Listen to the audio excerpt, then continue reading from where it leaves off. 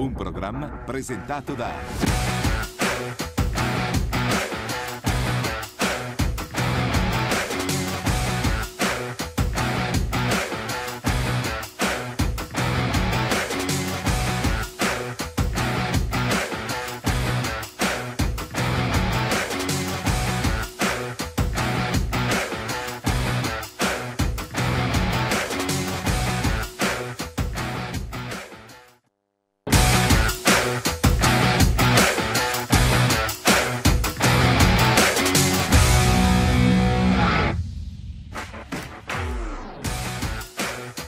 Buonasera e bentrovati a Pianeta Alma, puntata numero 2 del nuovo spazio di approfondimento di Fano TV dedicato al calcio.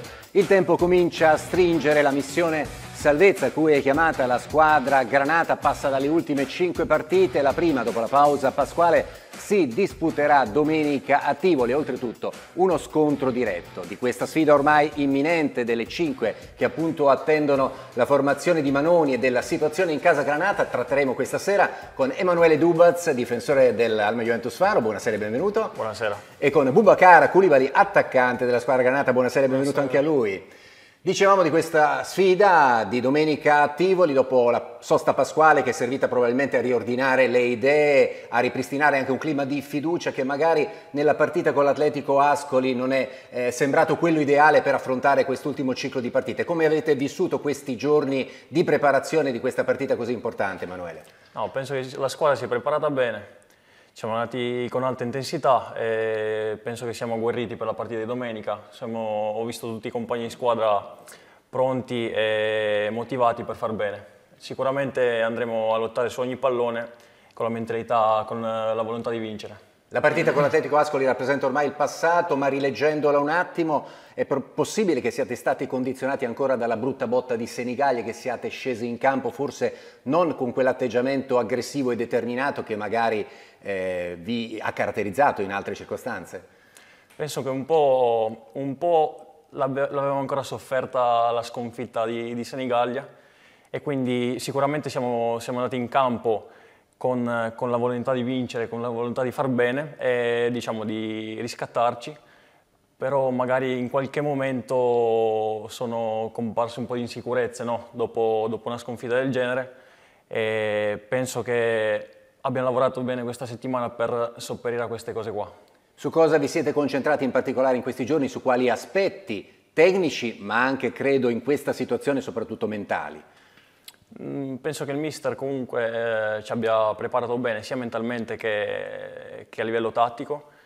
E ci siamo preparati bene, quindi penso che siamo pronti. Siete nella condizione insomma, di gestire al meglio questa partita. Eh, Bubacar è uno scontro diretto, sappiamo che negli scontri diretti la posta vale doppio perché i punti che si prendono sono punti tolti all'avversario. Sì. È una tappa importante di questa missione salvezza quella di domenica. Sì, molto. Pensi eh... che questo Tivoli sia alla portata dell'Alma? Sì, ma anche, cioè, secondo me anche le altre partite lo erano. Dipende Però... soprattutto da voi, mi pare di capire. Sì. Anche perché, eh, voglio dire, l'Alma ha dimostrato in un passato non così lontano di poter offrire prestazioni di altro livello rispetto a quella pre-pasquale, in particolare ricordiamo quella con il Chieti, che sembrava potesse connotare una sorta di svolta in questa stagione. Anche voi avevate avuto l'impressione dopo quella partita che il vento fosse girato? Beh, sicuramente era un punto di svolta quella partita là. Penso che dopo, eh, dopo anche a Matese abbiamo fatto bene, abbiamo continuato a, a, diciamo, a dimostrare un bel gioco, no? un, uh, soprattutto un bel atteggiamento. Un bel atteggiamento, esatto. Poi magari eh, le, la sfida contro l'Aquila ci ha messo un po', un po in difficoltà. Però in quel caso magari gli impegni ravvicinati hanno avuto il loro peso. Esatto, magari la, la stanchezza si era fatta sentire un po', e, però comunque la squadra la vedo molto agguerrita, cioè, la vedo sempre motivata a far bene e ci sta magari avere qualche intoppo durante il percorso, però eh, vediamo di, di, continuare a, far, a, far eh, il massimo, a dare il massimo. Anche perché nel frattempo era arrivata anche la partita con il Campobasso, solo un pareggio, ma contro la prima della sì. classe, un pareggio ampiamente meritato in una partita per lunghi tratti condotta dall'Alma. Così, Bubacar? Eh, Secondo me, come anche loro meritavano qualcosa in più all'inizio, anche noi... Strada facendo, insomma. Sì, secondo me meritavamo pure noi. È quella comunque l'alma me- che serve in questo sì. finale di stagione? Sì, però secondo me po- possiamo fare molto di più. Dicevamo di un finale di stagione caratterizzato dagli scontri diretti, non c'è solo quello con il Tivoli, ma eh, ci sono anche quelli eh, con il Sora e il Real Monterotondo. Sono partite più importanti delle altre oppure a questo punto No. tutte le partite possono fare la No, differenza? penso che sono cinque finali da, qua alla fine e ogni partita vale veramente vale allo stesso modo. Quindi vediamo di far bene, vediamo di, di- di portare a casa qualche vittoria.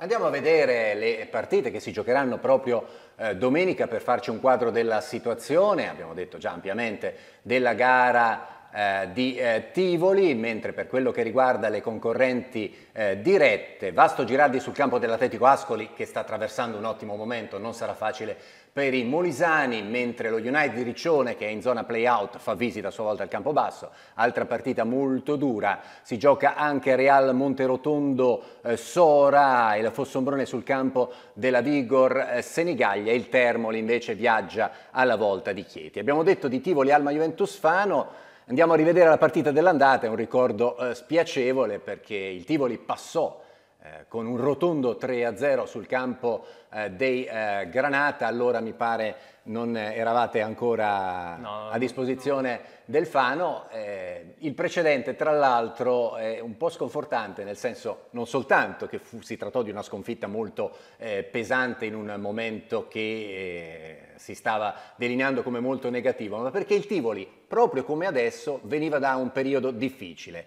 Allora si rilanciò a spese del Fano, ovviamente l'auspicio è che non possa fare lo stesso domenica perché è un Tivoli che da un mese e mezzo non vince, ha cambiato nuovamente allenatore nei giorni scorsi, squadra affidata a Cioci che l'anno scorso il Fano ha incrociato quando guidava il Trastevere, insomma anche il Tivoli come l'Alma è chiamato a dare una risposta in questa circostanza, quindi anche da questo punto di vista siete avvisati, troverete un avversario che è deciso a rilanciarsi. Lo sappiamo, sicuramente lo sappiamo. Lì chi ci avrà più voglia, chi ci avrà più motivazione di vincere, eh, la, la spunterà. Avete studiato questo avversario, qualche caratteristica particolare che è stata messa a fuoco in questi giorni di questo Tivoli, che aveva qualche buona individualità per quello che si è visto all'andata? Penso che il reparto offensivo loro sia, sia ben organizzato, comunque una squadra solida e sarà una bella battaglia. All'Alma servono le vittorie in questo finale di stagione, ne sono arrivate troppo poche. In questo campionato soltanto 4, 5 se ci aggiungiamo quella di Fossombrone che è stata cancellata a tavolino, perché poi fondamentalmente questa è una squadra che ha perso relativamente poco, meno di tutte le altre in fondo alla classifica, però troppi pareggi, Bubacar, 13. Eh, I pareggi...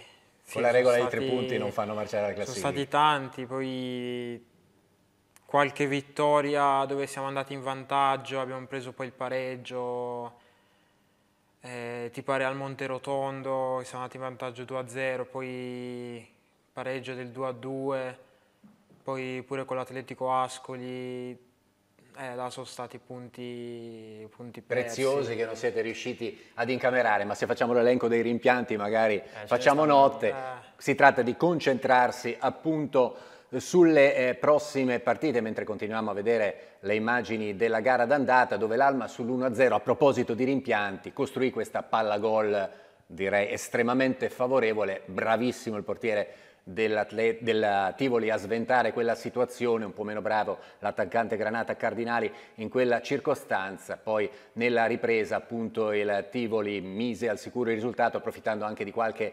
incertezza eh, difensiva della formazione che allora era affidata al duo Rondina Spedolini, vediamo appunto il gol del 2-0 che in pratica ha indirizzato la eh, partita, tra poco. Anche il terzo gol della squadra tiburtina. Due gare in casa, tre in trasferta, a questo proposito possiamo anche vedere dopo il 3-0 del Tivoli che matura lo stesso in circostanze eh, rivedibili, possiamo eh, vedere quello che sarà il cammino che attende l'Alma di qui alla fine della stagione eh, regolare, la gara di Tivoli il 7 aprile, poi in casa con Roma City che è in una posizione di classifica piuttosto tranquilla, Sora che invece deve ancora garantirsi la salvezza, Avezzano ugualmente in trasferta e anche l'Avezzano è in quota playoff, ma tra l'altro vive un momento agitato, anche lì di dimissioni dell'allenatore in questi giorni. Infine il Real Monterotondo il 5 maggio. Eh, credo che a questo punto, certo, giocare in casa è sempre meglio,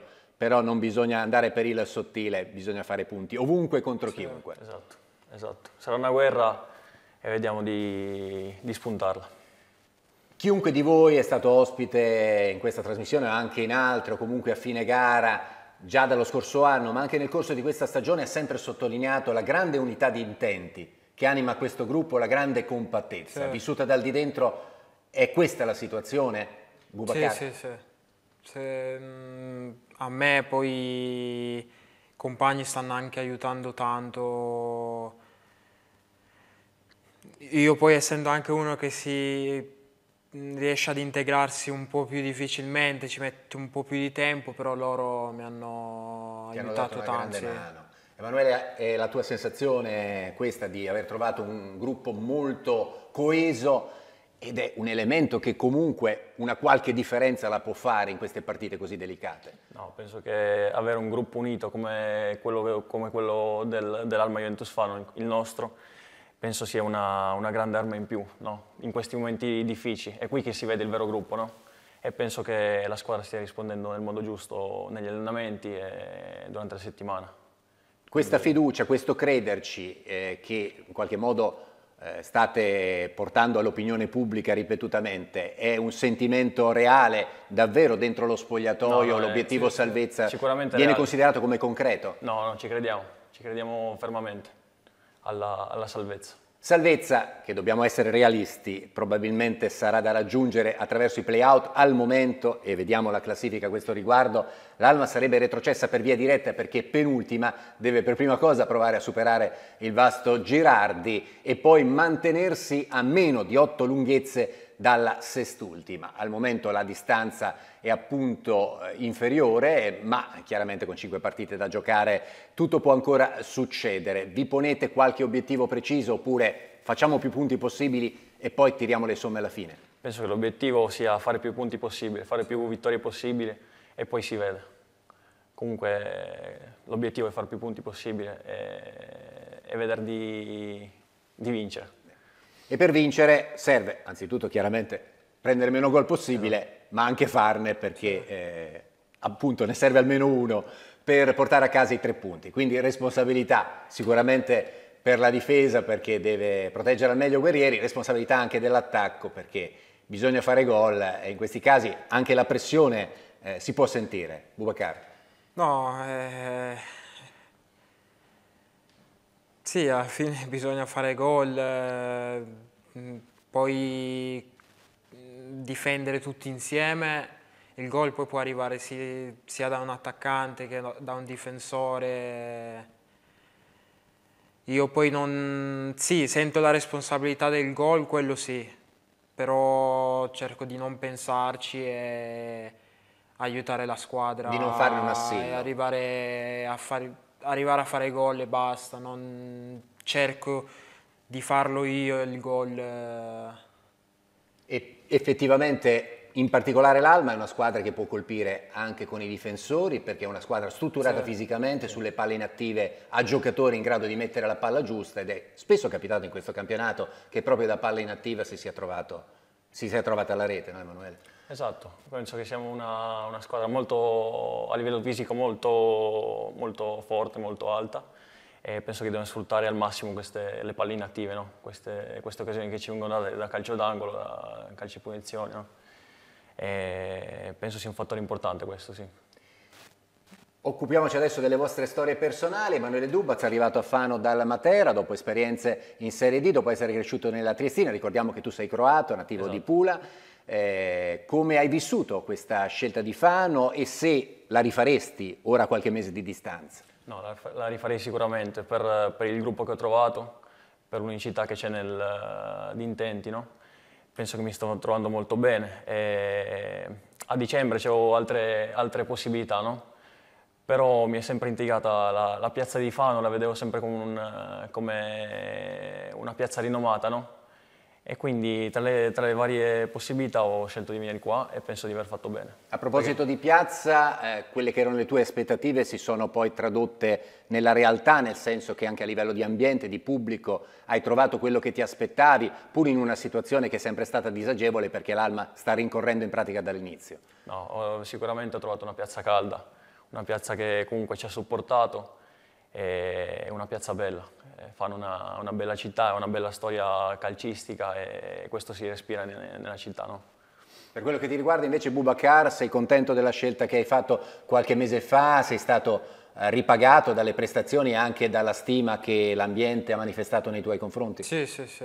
No, in quello non ho mai giocato con, eh, in squadre cioè con piazze così. Con questo seguito. Eh, eh, e quindi non mi, cioè, non mi, aspettavo, per quello che vedevo in tv, non mi aspettavo che ci stessero così dietro, però i, tifo, cioè, i tifosi continuano a starci dietro, venire a vedere le partite anche in trasferta, in trasferte lontane, a Matese sono venuti questo si Poi... sente, un giocatore avverte questo affetto ed è portato magari a dare quel qualcosina in più?